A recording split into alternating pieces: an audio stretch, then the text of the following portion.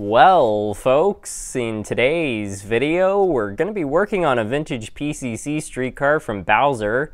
I found this a couple months ago on eBay, and it kind of stood out to me just because it was in such bad condition. According to the seller, it doesn't run whatsoever, and the paintwork is just terrible.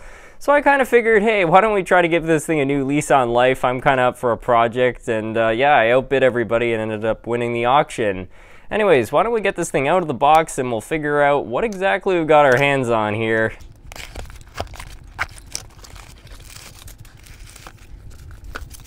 I gotta give props to the seller. They did a very nice job packaging this all up.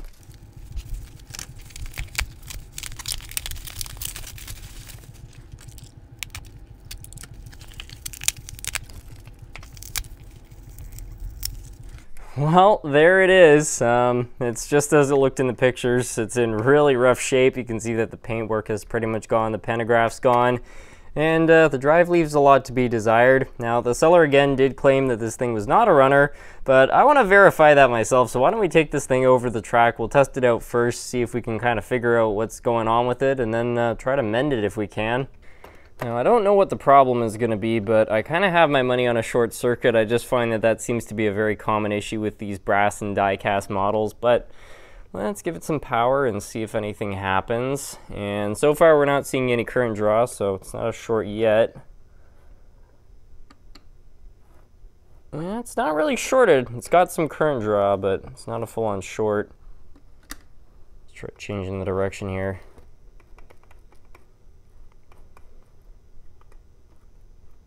Yeah, it seems uh, seems we've got a seized drive, so I'm going to cut the power there so we don't burn out the armature. But uh, yeah, let's bring this thing back over to the bench and see if we can figure out why exactly that is. So we've certainly got our work cut out for us with this one, but I don't think it's hopeless. At least we know the electrical system is working to some extent. You know, it's not shorted or anything like that, so that's all good. Anyways, I'm going to attempt to disassemble this. I've never taken one of these apart before, but I do see that there's a screw here, and I believe there should be one here as well. So we'll just try removing that, and hopefully the whole drive will come apart. All right, and here we are inside. Pretty simple uh, drive mechanism. Looks like some work's been done on it over the years. I think this is probably a replacement wire. Uh, the commutator has certainly seen better days. That is uh, quite dirty there, so I think that that's certainly going to need some work. But uh, I guess we could uh, take a controller and just try hooking up some power directly to the leads. I don't know, is it seized? Yeah, okay. Maybe the problem's down here. Know, this is certainly not promising. Kind of looks like maybe some moisture might have gotten here at some point. Oh, okay. Yeah, that explains a lot. This has not run for uh, an awful long time. I can tell you that much right here. Wow. Um, yeah, that is possibly the worst drive I've ever seen. And this grease is just wild. Yeah, wow. This is probably the uh, same grease that uh, this model left the factory with some 70 years ago. So yeah, it's uh, it's long past its due date, and uh, you can definitely see too that the metal has oxidized a little bit. So we're, we're gonna need to get all of that out of there, but uh, hopefully the motor is still good. I'm gonna have to keep uh, an eye on the uh, order of all these gears because they're uh, helix gears, so they have to be placed a certain way. Anyway, we'll try to pull them all out because clearly all of this needs to be cleaned. This one doesn't even want to come out because it's uh, actually seized in place there.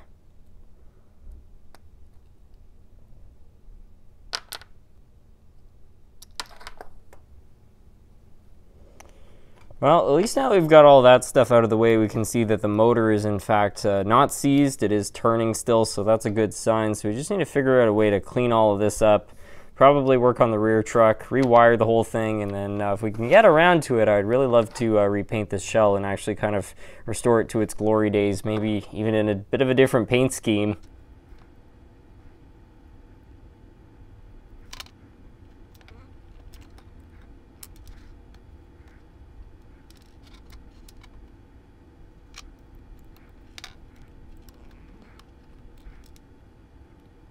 So with the drive mostly disassembled, I think we'll start cleaning up some of these parts here. Now, usually when encountering grease like this, I would just use dish soap, which honestly does a pretty good job at cutting through thick old oil like this.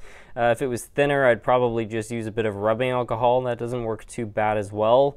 Uh, but recently with some of my outboard motor projects, I've been uh, using this gunk uh, engine cleaner.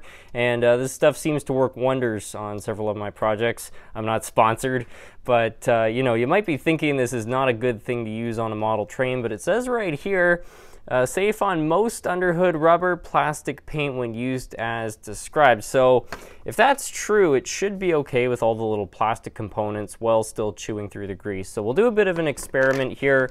Um, this is not something that I necessarily recommend because I don't know what the results are going to be. But I figure we'll try it out and uh, hope for the best here.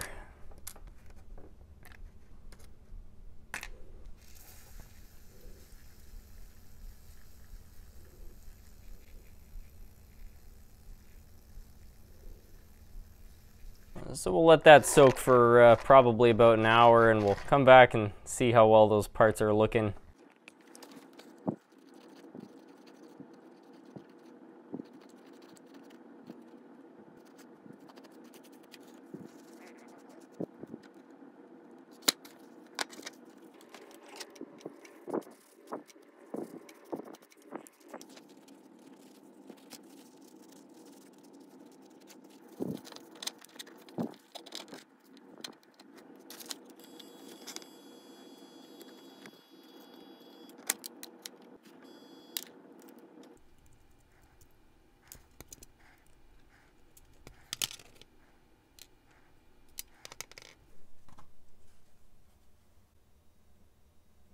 Well, that's certainly not so great.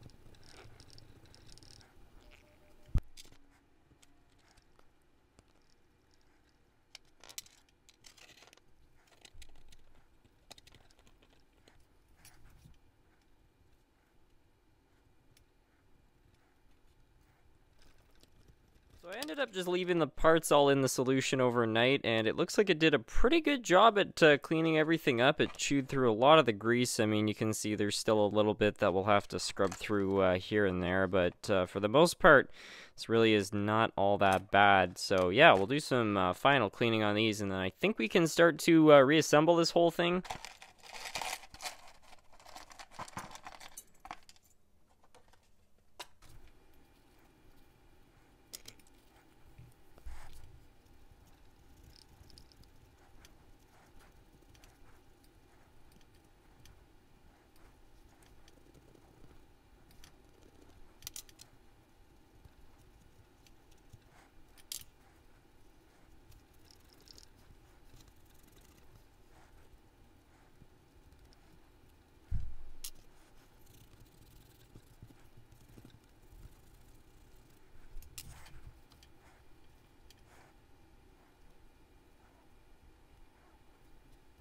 You can see the degreaser didn't get every single bit. I mean, this is definitely loosened up, but uh, didn't chew through all of it. The original formula of this would probably work a little bit better, but uh, this one is supposed to protect, which is something that I kind of like for uh, all of these components. Uh, maybe it doesn't do as good a job for cutting through the grease. I don't know. Let me know what you guys think of uh, its performance in the comments.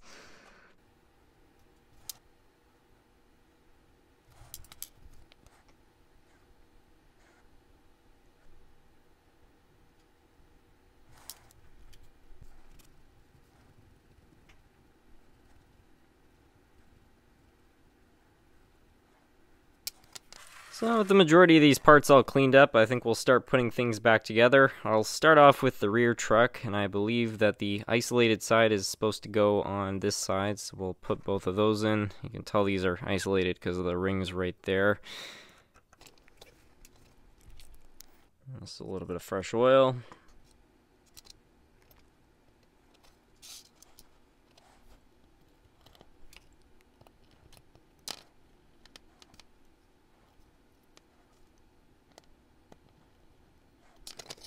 The rear truck, I was able to get this all pretty well cleaned up. I'm happy with it.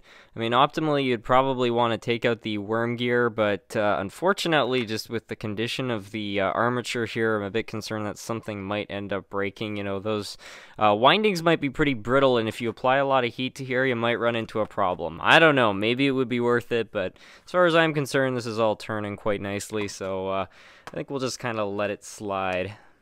Now, I don't exactly remember the order of the gears, however, I do know that both of these have to go this way. I'm going to put both the isolated sides this way. I believe this is how this truck is supposed to be. I don't know. Yeah, once we uh, install both these, we can actually kind of start to make out what the order is.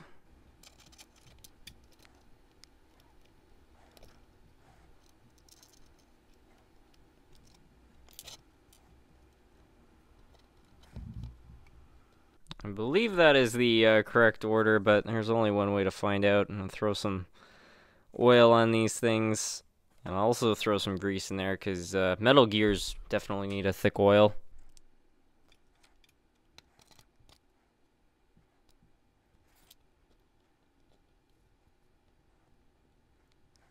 Well, both the wheel sets seem to be turning, so I guess I got it right.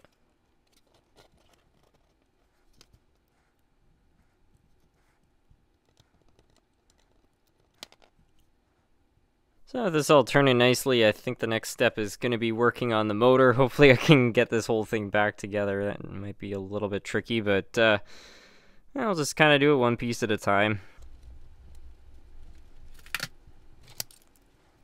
I'm really hoping that the armature on this thing is even good. I mean, you know, I've just disassembled and put together this drive all nicely for a motor which might not even work.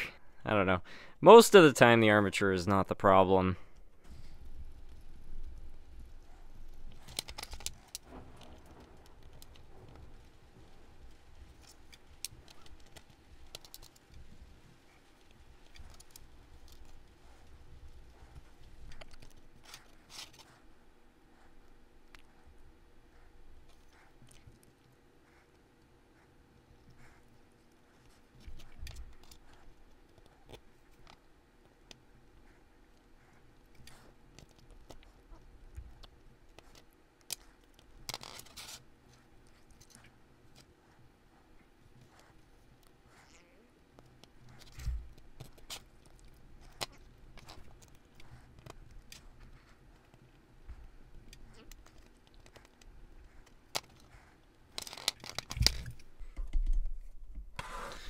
This is going to be quite the moment of truth here. I really don't know if this is actually going to work or not.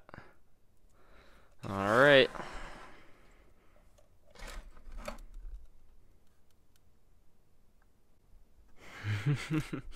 Uh-oh. It's not doing much, is it? Alright, I've noticed something a little bit strange right here, which is that if you look at the spring on this side, it's not soldered to the brush, but on this side it is. And they didn't do a great job. I don't even know if this is the original brush, but you can see um, as this turns, that piece of metal right there that's sticking out on the bottom is actually rubbing up against that, which is not good. So we're going to just try cleaning that up a little bit, and hopefully that will fix it. Well, after about 20 minutes of messing around with the brushes and everything else, I finally got this thing running. I don't know what was going on with it, but uh, as you can see now, um, it runs, and surprisingly, the motor's actually got a little bit of torque left in it, which is not something I was expecting. You know, with an old magnet like this, these things are usually kind of clapped out, but uh, this one's still got some life left in it, and it doesn't really have to haul a whole lot of weight, so I don't know, things might be okay for it. Anyways, uh, we have to get some sort of a wiring system now uh, between this truck and this brush right here. And then we'll do a track test, and then I think after that we'll uh, focus on the shell, because it could definitely use some love as well.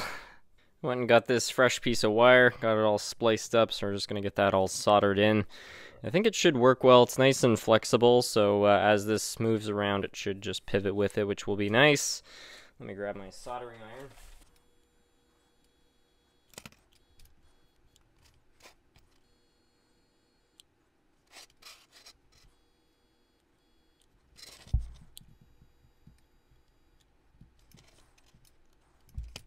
Alright, well, let's take this thing over to the track and see if it will do anything.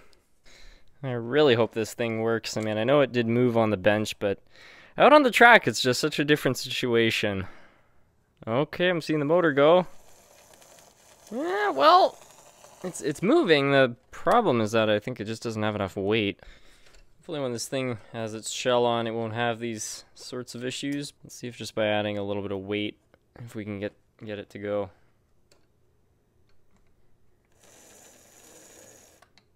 Still nothing. Seems like the metal on this rear truck might be a little bit out of spec and touching the rails, which is causing some short circuits. So I'll see if I can fix that. So I just bent the metal right down here up a little bit, but while I was working on it on the bench, I also noticed that it just doesn't seem to be sitting quite right. That's when I realized the frame is also super bent. You see how bad that is? So I'm going to try to straighten that out too and see if that can maybe make things a little better. Okay, let's see if all that work will do any good.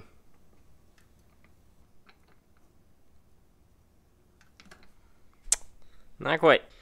Well, it's now around an hour later. It turned out that the motor needed a lot more work than I was expecting. I brought it back over to the workbench, and it turned out that that brush was still chafing. It clearly was not an original part. Somebody was definitely doing some work on this thing at some point, and uh, it just was not working out. So I tried to shave it down with a razor, and it actually ended up crumbling in my hands. So I went through my parts bin, and I ended up finding an RSO brush, and that was a pretty similar size to the original, as you can see. So what I did was I just bent the metal, resoldered the wire, and uh, now this thing seems to work. It's nothing uh, out of this world, but uh, just the fact that it's, you know, moving under its own power is something that I am uh, quite happy to see. So I think at this point we'll uh, go work on the shell. The you know the paint work on that is uh, certainly not ideal. So yeah, we'll work on this, and then hopefully the added weight will improve how well this runs too. So hopefully it won't be too hard to remove the paint on this. I mean, most of it's already coming off on its own, but uh, these old paints can be pretty tough sometimes. Um, this, I think, was the window setup. It's not looking so good. I don't really know if it's worth salvaging or not, so I might just uh, scrap that. But uh, as for the shell, got uh, the strongest paint remover you can legally buy in Canada. So we'll have a go with that, see if we can uh, lift this paint.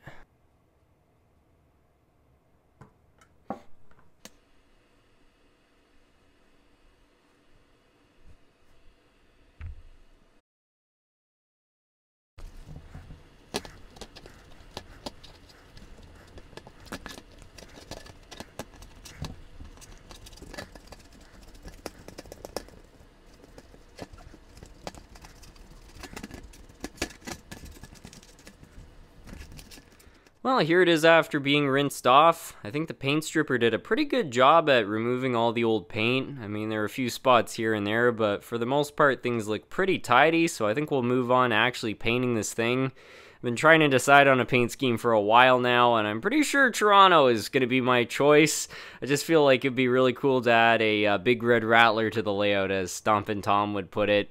I'm no expert at painting. I really don't know how well this is going to turn out, but I can't imagine it's going to be any worse than it was before. So uh, let's give it a shot.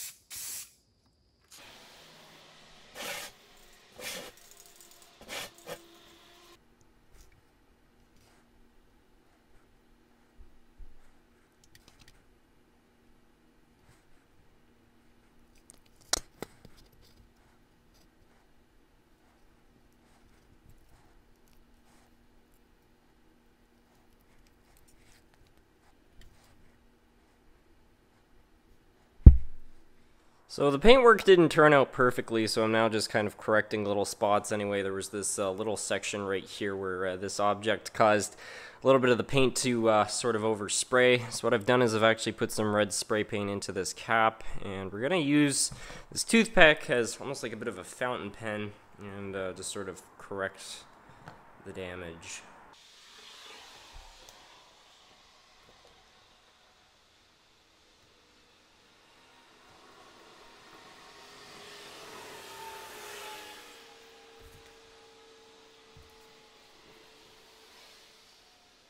Well, I'm now finished with the painting. I'm pretty happy with how it turned out. I mean, it's certainly not perfect. There are a few blemishes here and there. In retrospect, I probably should have sanded this down a little bit before painting it, but I didn't quite realize how jagged the metal was. And I'm also not too big about sanding things made out of lead. I don't know. But uh, yeah, either way, I ended up just adding a few more uh, details uh, here and there just to make it look a little bit better. And I did touch up the paintwork a little bit to the best of my abilities. So I think at this point, this thing is ready to be put back together. I did a few more uh, little pieces of work too on the drive. It turned out that this was causing some short circuits, which I kind of suspected, you know, having this piece of metal uh, touching this frame. So I just put this little insulator under it just to make sure that that can't happen. And I uh, attached the wire directly onto the bolt just so that there's a nice solid electrical connection because I don't think that this right here is actually OEM. So uh, yeah, that's not so good. Before we go uh, putting this all back together though, I've got one last detail which I think is really going to finish this thing off, and that is a trolley pole. And uh, I don't know, I just had some fun making this out of a piece of handrail. Got some glue on the end there to make the little wheel which uh, goes on the top, and uh, I just found this piece of plastic which I think will fit in pretty well there. So we'll glue that on, and then I actually want to add some thread to uh, make the little harness that they use to lower the wire if it comes off the wire there. I imagine when this thing left the factory, there probably was already a pole there, but uh, that's, that's all long gone, so we'll add this on. Just quickly uh, shorten down the pole. I just found it looked a little bit out of scale. Can always change it up a little bit later on, but for now I just want to focus on actually getting this uh, piece of thread on there. I don't really know what the best way to do this would be. Tie a knot and then maybe slide it up. That would probably be fairly easy to do.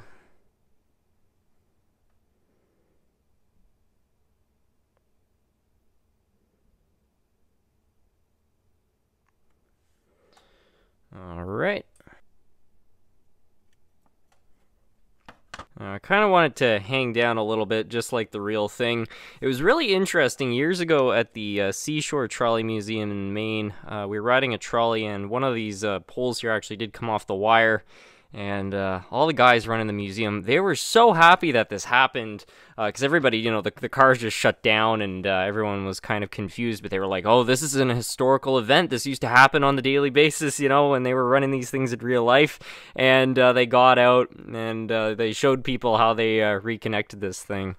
I just thought that that was kind of funny. Anyways, uh, I think I'll probably just put a little drop of CA on the back of this, honestly, and then uh, and then we'll just kind of glue it on that way. I'm just going to cut this a little bit shorter. I think that that will look just about right. I'll just put the tiniest dab of CA and I'll just try to kind of connect it on.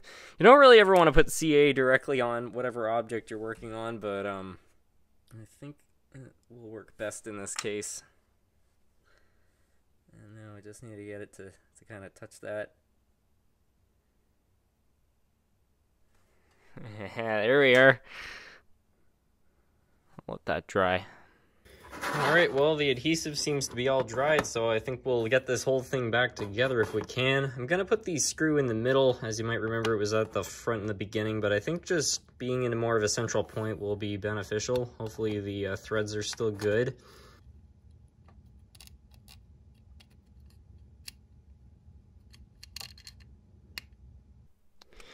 All right, and it is all back together. I realized uh, off camera I forgot to put the metal post in from earlier, so I just quickly added that on too. But uh, yeah, I think this thing is all ready to go, so let's take it over the track and get old Rattler sparking through. Well, folks, this is it. Moment of truth. Will this thing go? Yeah! She runs! Look at that! Doesn't look like it's going too bad. I just can't tell you how happy it makes me to see something that I just spent so many hours working on over the course of several days, just finally going around the layout, possibly for the first time in 30 years, 40 years, maybe 50 years, who knows. I mean, uh, judging by that grease, this thing had to have been sitting an awful long time. So, uh, yeah, is it ever great just to have given it a new lease on life? And it's flying around the layout with new paint, a rebuilt drive, and it's not doing too bad. Yeah, this couldn't be happier with the results is what I'm trying to say.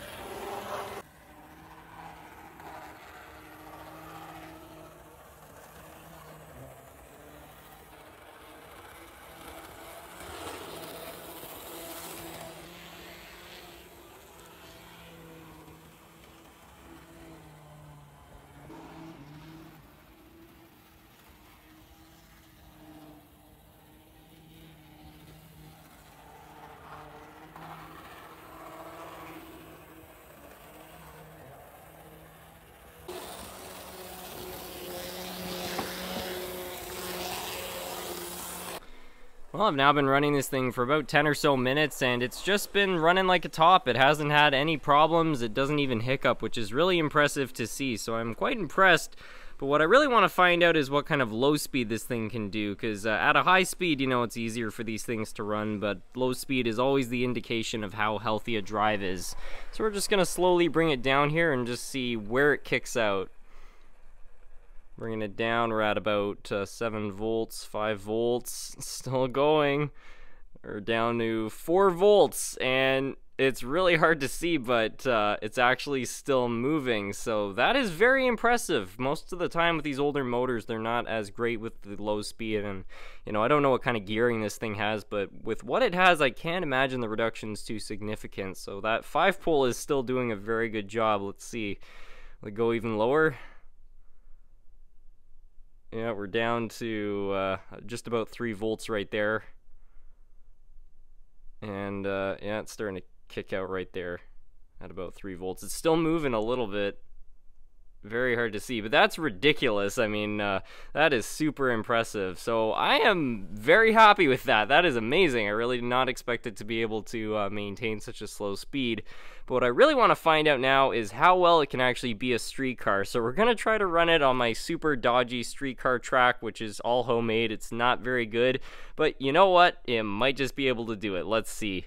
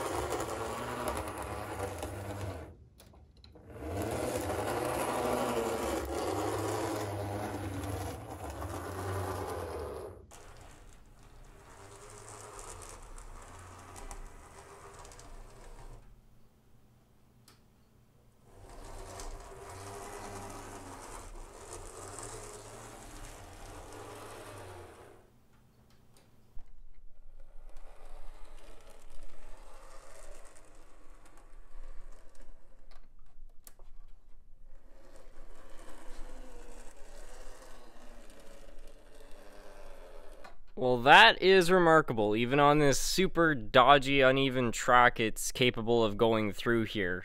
Pretty impressive. Well, folks, I think that that's going to be about it for today's video. I hope you all enjoyed. I certainly enjoyed working on this thing. I mean, it took quite a bit of effort to get it going again, but I'm so happy with the results. This is probably the first time this trolley's been riding the rails in many decades, and hopefully it will have many more decades to come now that it's all rebuilt prior to this, I don't think it had too much of a bright future considering that the gearbox was completely seized. It had a terrible coat of paint. You know, there was really nothing too good about it, but you know, here it is, all rebuilt, fully overhauled, and riding the rails again. So anyways, I think we'll finish things off there. With that, I just want to thank you all so much for watching.